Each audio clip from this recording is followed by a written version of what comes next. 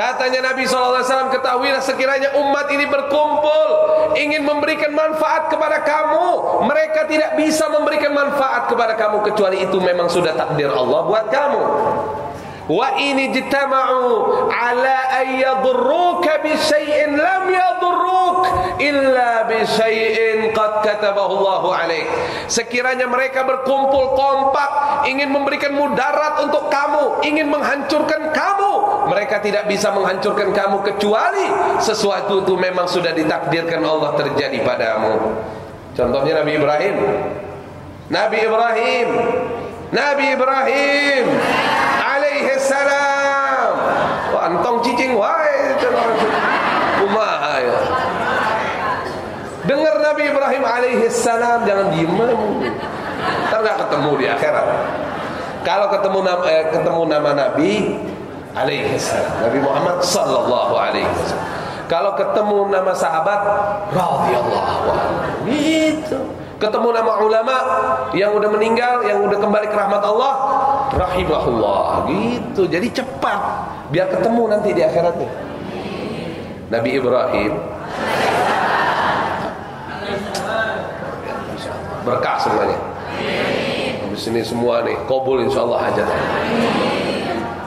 Jadi Nabi Ibrahim sama masyarakat Babil alaihi salatu wasallam. Sama masyarakat Babil mau di apa? Dibakar. Kan tahu ceritanya. Tahu nggak ceritanya? Tahu nggak gimana bakarnya? Tahu nggak gimana?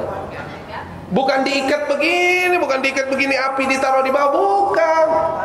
Semua masyarakat Babel naruh kayu bakar. Kayu bakar semua ditaruh sebabel, Babilonia, naruh kayu bakar. Sampai mereka buat masak udah susah deh. Mereka taruh buat Nabi Ibrahim semua itu. Nabi Ibrahim semua Nabi Ibrahim Nabi Ibrahim alaihi salatu Lupa lagi itu. Ini bukan lupa nih, lupa namanya. Enggak ingat sama sekali udah. Iya enggak? Dikumpulin semua kayu bakar sampai jadi gedung yang besar, kayak kayak bangunan besar gedung gitu. Dibakar. Terus Nabi Ibrahim alaihi salam udah ngamalin namanya itu. Jadi gini, akhlak itu apa sih? Nah, akhlak itu adalah gerakan spontanitas menurut kebiasaan. Seperti ibu-ibu kesandung batu. Kalau kebiasaannya zikir, astagfirullah. La ilaha illallah. Allahu akbar. Inna lillahi wa inna ilaihi raji'un. Kan gitu. Coba yang kebiasaan ngomong jorok. Ngomong jorok begitu kesandung. Nauzubillah min kebiasaan. Jadi Nabi Ibrahim ini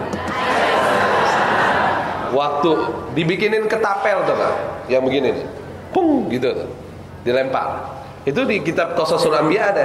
Itu yang pertama bikin ketapel itu buat Nabi Ibrahim dulu. Alaihi salam. Itu yang bikinnya itu di alam kuburnya itu disiksa sampai Allah sampai umur kiamat dia. Apa namanya? Duk dak duk gitu gitu gitu. Dia. Siksa dia.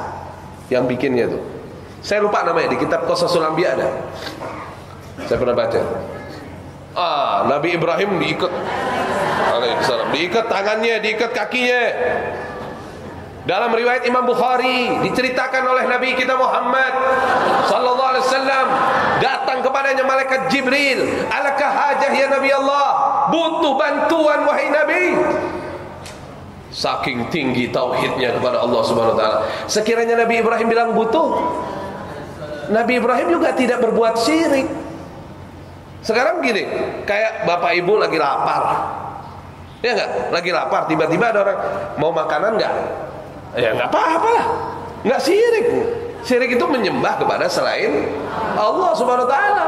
Dan namanya malaikat datang atas perintah Allah, tidak ada inisiatif sendiri, enggak. Perintah Allah malaikat tapi karena ketinggian tauhidnya Nabi Ibrahim alaihi salatu wasalam, amma ilaika fala sama kamu saya tidak butuh. Hasbunallah wa ni'mal wakil. Ah, cukup bagi kami Allah. Allah sebaik-baik penolong, Allah sebaik-baik pelindung. Dilempar Nabi Ibrahim. Nabi Ibrahim. Nabi Ibrahim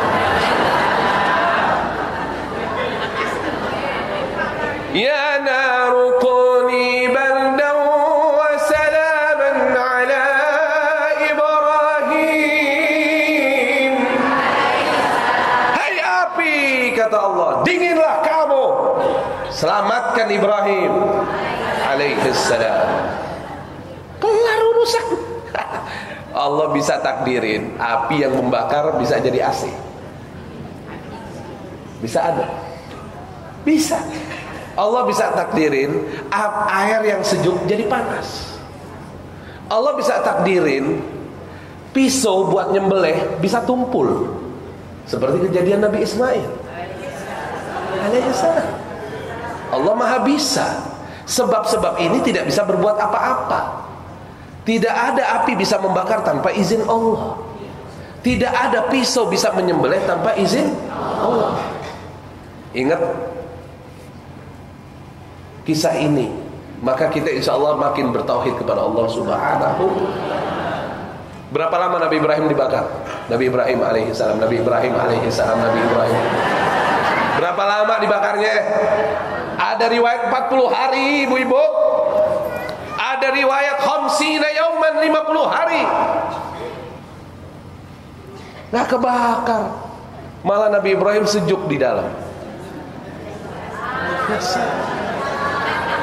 Ini capek-capek naruh kayu bakar. Pikirannya nih, pikiran orang Babil nih Waktu itu nih, yang kufar ini. Pikirannya dia nih, tuh kan tersiksa dia. Pikiran ente. Kenyataannya Lagi nikmat. Terusin aja. Ini bawa kayu bakar capek-capek Tuang lagi ini. Sampai udah selesai, udah capek nih Kayu udah habis. Udah susah udah kayu udah. Udah habis Nabi Ibrahim alaihi salam berkhutbah. Tahu nggak khutbahnya? Habis dibakar dibakar terus bicaranya apa? Tahu nggak waktu itu? Wallahi ma kanat ayyam wa layal atyab 'ishan id kuntu fiha wa wadattu anna hayati wa 'ishi mithl ma kuntu fiha atau Nabiullah Ibrahim alaihi salam. Demi Allah aku bersumpah kepada kalian semua Tidak pernah aku mengalami Hari demi hari Malam demi malam Yang kenikmatannya melebihi aku dalam api itu Dan aku memohon kepada Allah Berharap kepadanya Agar kenikmatan sisa umurku seperti aku berada dalam api itu. Bang enak ente capek-capek naruh api ente pikir ini senang sama Allah. Ma Allah. Ya salam.